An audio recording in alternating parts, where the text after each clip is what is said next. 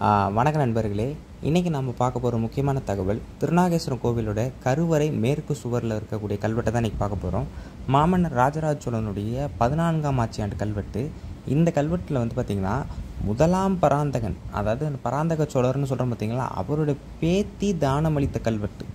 அவருடைய பேத்தி அதாவது ரம்- பராந்தக சோழருடைய மகன் வழி மகள். அப்போனா பார்த்துக்கோங்க அவங்க ராஜராஜ சோழன் காலத்தில் வரைக்கும் வாழ்ந்திருக்காங்கங்கிறதே ஒரு மிகப்பெரிய ஆச்சரியம். அவங்க தானமளித்த கல்வெட்டை பற்றி தான் இன்றைக்கி பார்க்க போகிறோம் ஒரு முக்கியமான தகவல்க இந்த கல்வெட்டு தான் இது. கருவறை மேற்கு சுவரில் இருக்குது நீங்கள் போனாலும் இப்போ பார்க்கலாம்.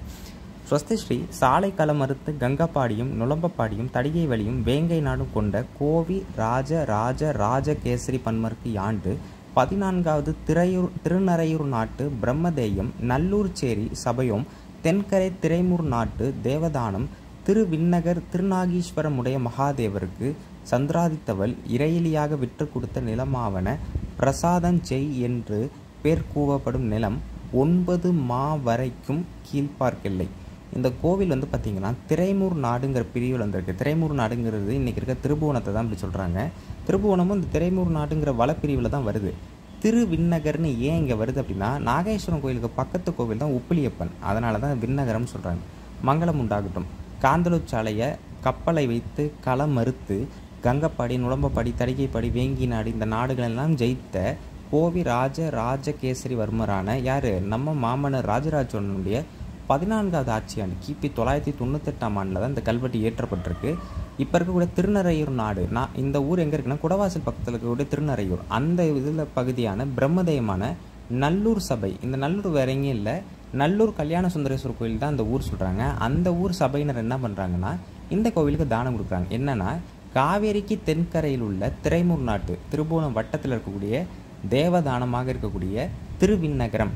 திருவிண்ணகரம்னு இங்கே குறி குறி இங்கே குறிப்பிடுறது என்ன அப்படின்னா உப்பிலியப்பன் கோவில். உப்பிலியப்பன் கோவிலுக்கு அடுத்து தான் வந்து பார்த்திங்கன்னா திருநாகேஸ்வரம் கோயில் இருக்குது அதனால தான் விண்ணகரத்தை சேர்த்து சொல்கிறோம் விண்ணகரம்னா பெருமாள் கோவில்னு அர்த்தம். அது பக்கத்தில் இருக்கக்கூடிய திருநாகேஸ்வரமுடைய மகாதேவருக்கு இந்த கோவில் இறைவனுக்கு சூரிய சந்திரன் இருக்கும் வரை அதுதான் சந்திராதித்த வரைன்னு சொல்கிறாங்க வரியே இல்லாமல் இறையிலி விற்று கொடுத்த அந்த நிலத்துடைய பேர் என்ன அப்படின்னா பிரசாதம் செய். வாய்க்கால் பேர் அது பிரசாதம் செய்ன்னு சொல்கிறாங்க அந்த நிலத்தோட அளவீடு எவ்வளோன்னு பார்த்தீங்கன்னா ஒம்பது மா அரை மான்னு சொல்லுவாங்க. ஒம்பது மா வரைன்னு சொல்லுவாங்க. ரெண்டுத்தையும் கூட்டினீங்க அப்படின்னா பத்தொம்போது டிவைடட் பை நாற்பது. அந்த நிலத்தோட எல்லைகளை இப்போ நம்ம பார்ப்போம். அந்த பவுண்ட்ரிஸை பார்ப்போம். சிவபுரத்து எல்லை வரம்புக்கு மேற்கும் தென்பார்க் எல்லை கண்டராதித்த மங்கலத்துக்கு பாயும் வாய்க்காலுக்கு வடக்கும் மேல்பார்க் எல்லை கம்பன் விழுப்புரையன் ஆள்கின்ற புஞ்சை திடலுக்கு கிழக்கும் வடப்பார்க் எல்லை குலை வரம்புக்கு தெற்கும் இவ்விசைத்தன் பெருநான்கெல்லையுள் மகப்பட்ட நிலம் மிகுதி குறைவுள் அடங்க விற்று கொடுத்த நிலம் ஒம்பது மா அறையும் அப்படி சொல்கிறாங்க அதாவது இதில் நிறைய எல்லைகள் நீங்கள் அங்கே நல்லா கவனிச்சிங்கன்னா தெரியும். இந்த கண்டராயுத்த மங்கலம் இது எங்கன்னு நீங்கள் சரியாக கவனிச்சிங்க அப்படின்னா இப்போ இருக்க கோனேரி ராஜபுரனுக்கு பார்த்தீங்களா அது கண்டராயுத்த மங்கலம் தான் சொல்லப்படுது. ஏன்னா அந்த ஊரே அவருடைய அந்த கோவில் வந்து பார்த்திங்கன்னா அவர் ஞாபகார்த்தமாக தான் செம்பியன் மாதிரி உருவாக்குறாங்க. விளக்கம்.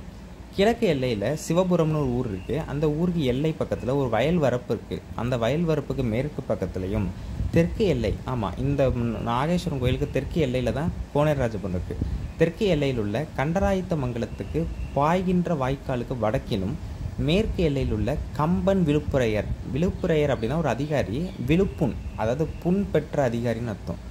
ஆள்கின்ற அவருக்கு ஒரு புஞ்சை திடல் இருந்திருக்கு. அந்த திடலுக்கு கிழக்கு பக்கத்துலேயும் வடக்கு எல்லையில் குலை வரம்பு அதாவது ஒரு கிட்டத்தட்ட வயல்வெளி மாதிரி தான். அதுக்கு தெற்கு பக்கத்துலேயும் ஆக இந்நான்கு எல்லைக்குட்பட்ட நிலம் மிகுதியும் குறைவும் இல்லாமல் அதாவது இப்போ நம்ம என்ன அளவீடு சொன்னோம்? நைன்டீன் டிவைடட் பை ஃபார்ட்டி அந்த அளவீடு மிகுதியும் அவங்க மிகுதினா அதிகமாகவும் இருக்கக்கூடாது குறைவாகவும் இல்லாமல் கண் அது கரெக்டான அளவில் இருக்கணும். விற்று கொடுத்த ஒம்போதுமா அரை நிலமும். அதுக்கடுத்து கல்வெட்டு போகும். சந்திராதித்தவள் இறையிலியாக விற்று கொடுத்து கொண்ட பொன் பிள்ளையார் அரிக்குலகேசரியார் திருமகளார் அரிஞ்சிகை பிராட்டியாரான ஸ்ரீ வானபெருந்தேவியார் இம்மகாதேவருக்கு அர்த்த யாமத்துக்கு கொடுத்த துளை பொன் முப்பத்து ஏழு களஞ்சரையும் இப்பொன் முப்பத்தி ஏழு களஞ்சரையும் கொண்டு எப்பேற்பட்ட கடமைகளும் இருத்து எமதாக சந்திராதித்தவள் இறையிலியாக விற்று கொடுத்தோம் அப்படி சொல்கிறாங்க இதில் வந்து பார்த்திங்கன்னா இந்த வானப்பெருந்தேவியாருங்கிறவங்க தான் பராந்தகனோட பேத்தின்னு சொல்லப்படுது. எதை வச்சு அப்படின்னா இந்த அரிக்குல கேசரியாருங்கிறது வேறு யாரும் இல்லை. பராந்தகனுக்கு மொத்தம் ஐந்து மகன்கள் இருந்திருக்காங்க. அது நான் ஒரு தனி டாப்பிக்காகவே சொல்லணும். பராந்தகரை பற்றியான ஒரு வாழ்க்கை குறிப்பை நிறையா சொல்லலாம். சரி சூரிய சந்திரனுக்கும் வரை வரி இல்லாமல் விற்று கொடுத்து அந்த விற்று கொடுக்கறது யாருக்கு விற்று கொடுக்குறாங்க? இந்த சபையினர். இந்த வானப்பெருந்தேவியாருக்கு தான் விற்று கொடுக்குறாங்க. அவங்க தங்கத்தை மாற்றாக கொடுக்குறாங்க. அதுக்கு ஈடாக தங்கத்தை கொடுக்குறாங்க. அதான் பொன்னை வைத்து பிள்ளையார். பிள்ளையார்னு இங்கே கொடுக்குறது என்னென்னா பராந்தகனோட மகன்.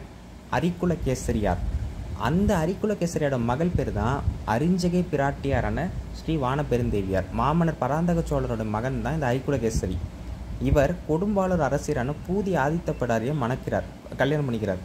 அந்த அரிக்குல கேசரிக்கு பிறந்த மகள் தான் இந்த அரிஞ்சகை பிராட்டியரான வானப்பெருந்தேவியார் இவர் முதலாம் பராந்தகனோட பேத்தி.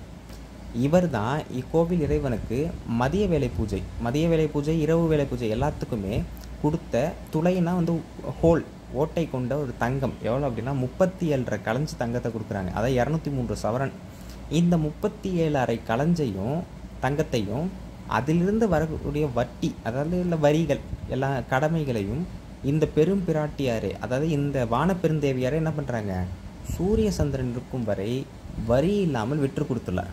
இதுதான் இந்த கல்வெட்டு. இதுதான் சாராம்சமே. இந்த கல்வெட்டுடைய சொல்லப்பட்ட கருத்தே இதுதான். ஆனால் முக்கியமான தகவல் என்னென்னா இந்த வானப்பெருந்தேவியாரை பற்றி நமக்கு தெரிஞ்சது.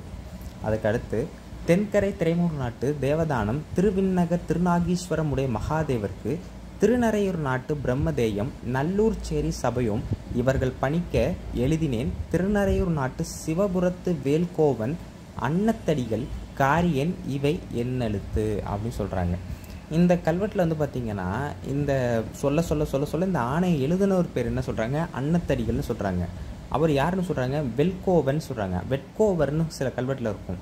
நீங்கள் குத்தாலம் கோவில் கல்வெட்டு நான் ஏற்கனவே சொல்லியிருப்பேன். அதில் வந்து பார்த்திங்கன்னா இதே வெட்கோவன்கிற வார்த்தை இருக்கும். கிட்டத்தட்ட இந்த பானை செய்யக்கூடியவங்க குயவர்கள் தான். பானை செய்வர்கள் வெட்கோவர்னு சொல்லுவாங்க காவேரிக்கு தெற்கு கரையில் உள்ள திரைமூர் நாட்டு கோவில் நிலமாக இந்த திருவிண்ணகர் திருநாகேஸ்வரமுடைய மகாதேவருக்கு இந்த திருநறையூர் நாட்டு பிரம்மதயமான நல்லூர் செடி சபையினர் என்ன பண்ணுறாங்க தானமாக கொடுக்கின்றனர். கொடுத்து அந்த விஷயத்தை எல்லாத்தையும் கல்வெட்டில் எழுதணும் அப்படின்னு சொல்லி ஆணையிடுறாங்க. அதை எழுதின ஒரு பேர் தான் என்னது? இந்த திருநறையூர் நாட்டை சேர்ந்த சிவபுரத்தை சேர்ந்த வெல்கோவன் அதாவது குயவர். அவர் பேர் என்னது? அன்னத்தடிகள் காரியன். பொதுவாக அரசர் அந்த அதிகாரிகள் பேர்லாம் காரியன்கிற பேர் வரும்.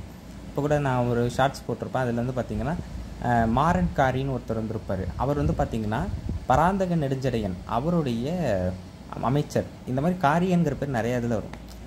இப்படியோக்கும் சோமன் நங்கியேன் இப்படியோக்கும் தாரை காணி சிங்கன் புரிசையேன் இப்படியோக்கும் ஆரிதன் சோமன் புரிசையேன் இப்படி அறிவேன் கௌசிகன் கோம குமாரன் திருநாகீஸ்வரனேன். இது பாருங்க அந்த பே அந்த ஊர் பேரே சில பேர் வச்சுருப்பாங்க. இப்படி அறிவேன் காசிபன் திருநாகீஸ்வரன் குப்பையேன் இப்படி அறிவேன் குமாரன் வேண்டியேன். இப்படியொக்கும் எமயன் ஆரிதன சோமன் திருவேங்கடத்துக்கு ஒக்கும். முதல்ல எனக்குமே இந்த ஒக்கும்னா என்னங்கிறது புரியல. கிட்டத்தட்ட அது வந்து அரசர்களோட ஆணையை வந்து அப்படியே பிரதி எடுத்து அதை அப்படியே எழுதுறது போல். இப்போ வந்து அந்த கல்வெட்டில் எழுதுறது தான் அந்த அன்னத்தடிகள். அதை அப்படியே செயல்படுத்தக்கூடிய அதிகாரிகளாக இவங்களாம் இருந்திருப்பாங்க. அதான் இப்படி ஒக்கும் ஆணையை பின்பற்றுங்கிறது தான் அதோட அர்த்தம். எக்ஸாக்டாக சொன்னான். சோமன் அங்கியேன் அப்புறம் தாரைக்காணி சிங்கன் புரிசையேன் அதுக்கப்புறம் ஆரிதன் சோமன் புரிசையன். அண்ணன் தம்பிங்களாக இருந்திருக்கலாம். அதே மாதிரி கௌசிகன் குமாரன் திருநாகீஸ்வரனன். இவங்கெல்லாம் சாட்சியமாக இருந்திருக்கலாம். இப்படி அறிவேன்னு சொல்கிறாங்க சாட்சியமாக இருந்திருக்கலாம். அப்புறம் காசிவன் திருநாகீஸ்வரன் குப்பையன். ஏன்னா இவங்கெல்லாம் உள்ளூர்காரங்க. பேர்லேயே பார்த்து தெரியும். இவங்களாம் உள்ளூர்காரங்க. அடுத்து குமாரன் வேண்டியன். அதுக்கப்புறம் பார்த்தீங்கன்னா எமயன் ஆரிதன சோமன் திருவேங்கடம். இப்படி எல்லாருடைய பெயர்களும் கொடுத்துருக்காங்க. எதுக்கு இந்த மாதிரி சாட்சியங்கள் கொடுப்பாங்க அப்படின்னா ஒரு நிலதானம் கொடுக்கும் பொழுது இந்த மாதிரி சாட்சியங்கள் வைத்து தான் கொடுப்பாங்க. இப்போ நம்ம ரிஜிஸ்டர் பண்ணும் பொழுதே பார்த்தீங்கன்னா சாட்சிய கையெழுத்துலாம் கேட்பாங்களே அந்த மாதிரி தான் இது. அதை கல்வெட்டில் பண்ணுவாங்க. கல்லில் மட்டும் இந்த வெ- எழுத்துக்களை வெட்ட மாட்டாங்க. செம்புலேயும் வெட்டுவாங்க. அது கிடைக்கல இப்போ நம்ம யாருக்கும்.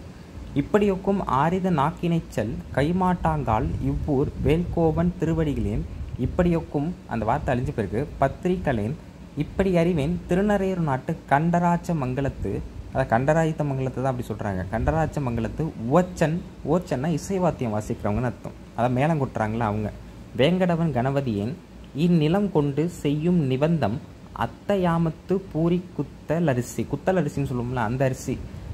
நானாளியும் நெய்யமுது ஆளாக்கும் கரி அமுது கரினா காய்கறி. கரி அமுது ஒன்றும் அடைக்காய் அமுது வெறுங்காய் நாளும். வெற்றிலை கிட்டத்தட்ட ஏறக்குறைய இது வந்து பார்த்திங்கன்னா தொண்ணூற்றி ரெண்டும் நினைக்கிறேன். இப்படி நிபந்தம் செலவிது பன்மாகேஸ்வர ரக்ஷை இதோட கல்வெட்டு முடிஞ்சிருச்சு.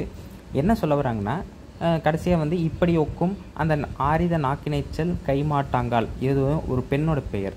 அடுத்து வெல்கோவன். இந்த சொன்ன பார்த்தீங்களா முன்னாடி அவர் திருவடிகளின் அவர் பெயரையும். இப்படி ஒக்கும் பத்திரிகளின் இப்படி அறிவேன். திருநறையூர் நாட்டு கண்டராச்சமங்கலத்து உவச்சன். மேளம் கொட்டுபவரை தான் உவச்சர்னு சொல்லுவாங்க அவர் பேர் வேங்கடவன் கணபதியன்.